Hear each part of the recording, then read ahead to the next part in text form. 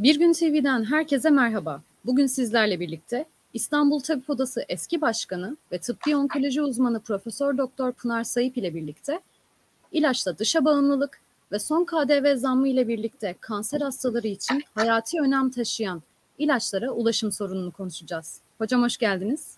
Hoş bulduk. İyi yayınlar. Nasılsınız? Çok teşekkürler. İyiyiz, teşekkürler. Sağ olun. E, dilerseniz ilk sorumla başlayayım. Biliyorsunuz e, ilaçlara %2'lik bir KDV zammı yapıldı. Bu zam kanser hastalarını ne ölçüde etkileyecek acaba? E, tabii sağlıkta KDV zammı e, olmaması gereken bir durum. E, zaten erişimde e, zorluk yaşanıyor e, kanser hastalarının birçok ilaca hayati önemi haiz birçok ilaca e, erişim sorunu yaşanıyor. Bu bunu daha da e, zorlaştıracaktır. Ayrıca e, muayene ücretlerinde de yüzde ikilik bir zam geldi. E, bu da e, sağlıkta olmaması gereken aslında hiçbir KDV'nin e, olmaması gerekir sağlık hizmetlerinde. E, maalesef bunlar e, ulaşımı daha da zorlaştıracak. Peki biliyorsunuz kanser hastaları özellikle SGK kapsamında olmayan akıllı ilaçlara erişim sağlayamıyor. Ee, siz bu konuyu nasıl değerlendiriyorsunuz acaba? Şimdi e, maalesef ülkemizde dünyada ruhsatı olan ve geri ödemesi olan birçok ilaç e, bir kısmının Türkiye'de ruhsatı var ama maalesef SGK geri ödemesi yok. Bir kısmının ise hem ruhsatı yok hem SGK geri ödemesi yok. Bunlara ulaşmak iyice zor e, ruhsatı olup SGK geri ödemesi olmayan ilaçlar için e, kanser hastalığı gerçekten büyük zorluklar yaşamakta. Aynı zamanda hekimler de büyük zorluklar yaşamakta. Çünkü bunlar için hem e, bakanlıktan yine de endikasyon dışı onayı almak zorundasınız. Ayrıca e, hastalar bunun için mahkemeye başvurmak, yürütmeyi durdurmak, bazıları bunu becerebiliyor, bazıları beceremiyor. Ondan sonra da çok uzun yıllar süren mahkeme süreçleri var. İlaçların geri ödemesi konusunda. Daha sonra bunların bir kısmı kabul ediliyor mahkemelerce, bir kısmı kabul edilmiyor ve hastalar bazılarını da cepten ödemek zorunda kalıyorlar. Ve bütün bu yoğun süreci ancak e, desteği olan hastalar, avukat tutabilen hastalar maalesef e, yapabiliyorlar ve bu ilaçlara erişebiliyorlar. Yani yolda e, tedaviye ulaşımda bir takım hastalarımız maalesef eleniyorlar. Yani bir kısmı zaten hiç bütün bu süreçte uğraşamayacağı için e, bu ilaçları hiç uygulayamamış oluyoruz. Biz baştan hastalara işte böyle bir ilaç var ama ruhsatı da var ama maalesef SGK geri ödemiyor. Bunun için sizin bir mahkeme süreci yaşamanız gerekiyor, avukat tutmanız gerekiyor gibi bütün hastalıkla ilgili bilgilerin yanı sıra epey bir süreyi de hastaya ayırdığımız vakitte ilaca nasıl erişeceklerini konuşmak zorunda kalıyoruz. Ve bunlar gerçekten çok yüksek ücretli e, ilaçlar maalesef. Yeni ilaçların bir kısmı çok yüksek ücretli. E, o nedenle de ulaşım zor oluyor. E, bir kısmında ise e, maalesef ruhsat da yok. Bunlar için özel endikasyonlar almak gerekiyor bazen hem ruhsatı olup SGK geri ödemesi olan fakat Türkiye'de e, döviz kuru maalesef yüzde yani 10 lirada tutuluyor. Mesela Euro'nun e, geri ödeme kapsamına alınabilmesi için 10 lirada tutuluyor. E, şu anda döviz fiyatları çok artmış durumda. TL, TL çok değer yitirdiği için birçok ilaç firması e, ülkemize girmek istemiyor. Çünkü bu geri ödeme dengesi içinde onlar için uygun olmuyor. Bir de referans ülke oluyoruz. Birçok ülkede bizi göstermiş oluyor. E, bu nedenle de bazı ilaçlara ise hiç erişim mümkün olmuyor. Bu da bizim kanser hastalarımız açısından onların sağ kalımları, yaşam süreleri açısından da büyük bir dezavantaj oluşturuyor. Peki e, şimdi şöyle bir mesele de var. Zam beklentisi nedeniyle eczada depolarından e, hastanelere ilaçların tedarik edilmediği söyleniyor. Hani siz bu konu hakkında neler söylemek istersiniz acaba? Şimdi özellikle kamu kurumlarında şöyle bir sorun var. İhale sistemiyle ilaçlar alınıyor hastane eczanelerine. Bu geri ödemeler e, geç olacağı için birçok firma bu ihalelere zaten hiç girmiyor ve e, şeyde bulamıyorsunuz. E, hastane eczanelerinde bu ilaçları bulunduramıyorsunuz. Ayrıca hastane eczanelerinde bu kadar pahalı ilacın bulundurulması koruma tedbirlerinizi de almanız gerektiriyor. Çünkü ilaçlar çalınabilir, e, farklı şeyler olabilir. E, bunların da çok iyi güvenliğinin sağlanması lazım. E, bunlar da ayrıca bir sıkıntı oluşturuyor. İhaleye girmeyince de zaten firmalar geri ödeme alamayacaklarını düşündükleri için veya geç alacaklarını, birkaç yıl sonra alacaklarını düşündükleri için hastane eczanelerinde bulunamıyor. O zaman biz dış reçete yazıyoruz eczanelerden almaları için. Bunlar da hastanenin döner sermayesinden kesiliyor ve bu kadar pahalı ilaçları bir hastanenin döner sermayesiyle karşılaması e, çok mümkün değil. Yani böyle bir çıkmaz e, döngüdeyiz maalesef. Peki bir de aynı zamanda şöyle de bir sorun var. Ee, birçok kanser hastası da dahil olmak üzere birçok hasta eczane eczane dolaşarak ilaç ara, aradıklarını söylüyorlar. ilaç bulamadıklarını aktarıyorlar. Sizce eczanelerde ilaç bulunamamasının nedeni nedir? Şimdi bu dönemde ilaç bulunamamasının ve zaman zaman bazı ilaçların yoka düşmesinin birçok nedeni var. Ee, bazen ucuz ilaçlar da bulunamıyor. Çünkü e, çok fazla ucuz. E, bunları firmalar üretmek istemiyorlar. E, bu ilaçları üretmek e, zararına bir üretim söz konusu oluyor. O yüzden fiyat politikalarının çok iyi değerlendirilmesi lazım ucuz ilaçların piyasada bulunması için. Eskiden SGK'nın eczaneleri vardı ve bunlar kar amacı gütmeden bu tür ilaçları kendi fabrikalarında yaparak e, piyasada bulunmasını sağlıyordu. Oysa şimdi tamamen e, özel sektörün elinde olduğu için e, kar amacı yoksa, zarar edeceklerse bu tür ilaçların bulunması zor. Bir, bir takım ilaçlar ithal değil. Hani ithalde döviz kuru tabii e, önemli rol oynuyor ama ülkemizin içinde üretilen ilaçlarda da ham maddeler dışa bağımlı. Bu ham maddelerin yurt dışından getirilmesi de yine döviz kurları ile ilgili. O yüzden de bazı ilaçlar bulunmuyor.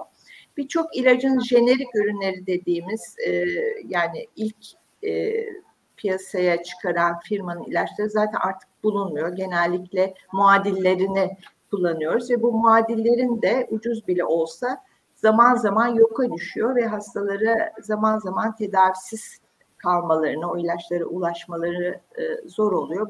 Bu tür sıkıntılar gerçekten e, hem biz hekimleri, onları tedavi eden hekimleri çok zorda bırakıyor hem de hastalarımızı sürekli eczane eczane dolaşıp ilaç bulmaya çalışıyorlar. Peki bildiğiniz üzere bir e, randevu krizi söz konusu. E, hastanelerde gerekli tetkikler için randevu bulamayan kanser hastaları maalesef ki özel hastanelerde tedavi arayışına giriyorlar. Bu tetkikleri yüksek ücretlere yaptırıyorlar. E, parası olmayanlar ise devlette aylar sonrasına randevu bekleyişine giriyorlar. E, bu kanser hastaları gibi hastaları için sizce ne gibi sonuçlar doğuracak? E, bu tabii te, tanıda gecikme, tedavide gecikme bunlar e, ciddi sorunlar. E, özellikle e, kanser hastaları için e, randevu sistemi merkezi olmamalı. E, çünkü e, merkezi olarak açık olan randevulara aslında hiç de e, gerekli olmayan hastalar randevu alıyor ve gerekli hastaların randevuları bulması zorlaşıyor. Bu yüzden aslında her kurumun kendi randevusunu kendinin vereceği özellikle kanser hastalarında bu şekilde bir randevu sistemi oluşturulması çok gerekli. Bazı kurumlar bunu yapıyor. Mesela biz Onkoloji Enstitüsü'nde kendimiz randevuları vermeye çalışıyoruz. Çünkü gerçekten ihtiyacı olanların öncelik olması lazım. Yani ben kanser miyim acaba diyen bir insan da o randevuları doldurup e, gerçekten tanı almış hastaların tedavilerindeki bir gecikmeye neden olabiliyor. O yüzden hem sevk zincirinin hem de kurumların inisiyatifinde olan bir randevu sistemine büyük ihtiyaç var. Ayrıca e, tetkiklerde de kanser hastalarına bir öncelik tanınması lazım. E, bizim ülkemizde maalesef şu anda bir enflasyon var, tetkik enflasyonu var. Bu tomografide, MR'da, PET'te çok gereksiz tetkikler de yapılarak aslında cihazlarımız o miktarda var ama lüzumsuz kullanım olduğu için gerçek e, ihtiyacı olanların erişimine e, engel oluyor. Bu nedenle bu sürecin e, birlikte planlanması lazım. Yani onkoloji merkezlerindeki sorunların e, ele alınıp özellikle Türk Tıbbi Onkoloji Derneği bir uzmanlık derneğidir bu konuda. Hangi ilaçların mutlaka geri ödemesi olması gerekir?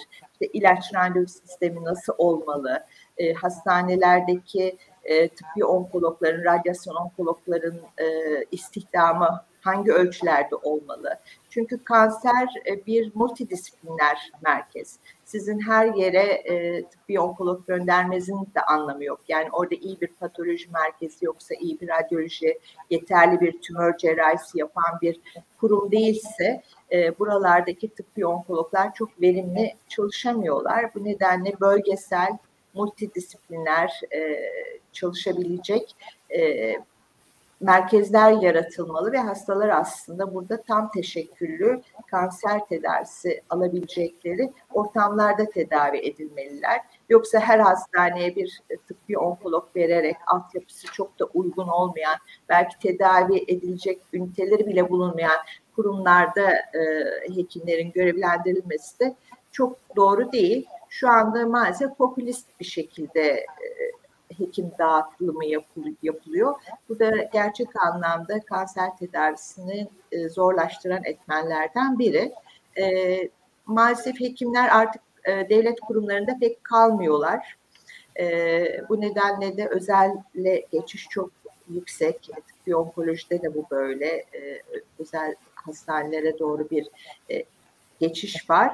E, bu nedenle e, kamu kurumlarında randevu bulmakta hastalar zorlanıyorlar. E, ama özelde de ciddi farklar ödemek zorunda kalıyorlar özel hastanelerde. Bu farklarda e, cezayı ödüyor. E, hani aslında resmen alma, alınmaması gerekir ama kurum, özel kurum bunun cezasını ödüyor ama fark almaya e, devam ediyor. Şu anda e, ağırlık olarak maalesef özel hastanelerde daha çok tedaviler yapılabiliyor. Peki ben size artık son olarak şunu sormak istiyorum. Hastanelerde randevu bulunamadığından bahsettik. Aynı zamanda da hekimlerin e, artık azalışından da bahsettik. Yurt dışına gidiyorlar vesaire. Hastanelerde randevu bulunamamasının temel sorunlarından biraz bahsedebilir misiniz bize acaba? Bir e, ülkede e, sağlık sistemi sevk zinciri olmadan işliyor. Bir kere mutlaka sevk zincirinin olması lazım. Yani ilk birinci basamaktan ikinci basamağa ve ikinci basamaktan üçüncü basamağa daha ileri e, tedavi, tetkik tedavi birimlerine bir sevkle gidiliyor olması lazım. Yani e, hastalar eş zamanlı olarak bir sürü hastaneye aynı zamanda randevu alamamalı. Bu bir randevuyu tıkayan bir e, sebep. Sevk zinciriyle olursa öncelikler tanınabilir gerçek hastaların tedaviye ulaşımında.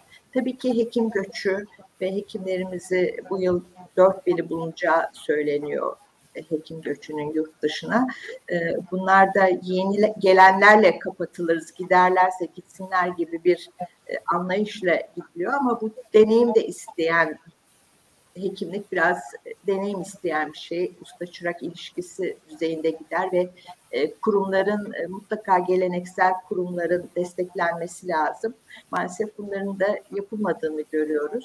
E, bu anlayıştan vazgeçilmesi lazım. E, düzenli bir şey yapılırsa, e, yerleştirme yapılırsa e, aslında randevu sistemi çok daha iyi işleyebilir. Pekala. Çok teşekkür ederiz hocam konuk olduğunuz için. Ben teşekkür eklemek ederim. istediğiniz bu sorunları eklememizi sağladığınız için. Ee, ben her zaman için e, Sağlık Bakanlığı'nın mutlaka uzmanlık dernekleriyle, tabip odalarıyla ülkedeki e, sorunları birlikte değerlendirerek e, çözümler bulması gerektiğini ve kamu kurumlarının özellikle nitelikli kamu kurumlarının desteklenmesi gerektiği kanısındayım bu şekilde e, yol alınırsa daha verimli olabiliriz. Pekala hocam. Çok teşekkür ederiz tekrardan konuk olduğunuz için. Ben teşekkür ederim. İyi, İyi günler dilerim. Bizi izlediğiniz için teşekkür ederiz. Bir sonraki yayında görüşmek üzere.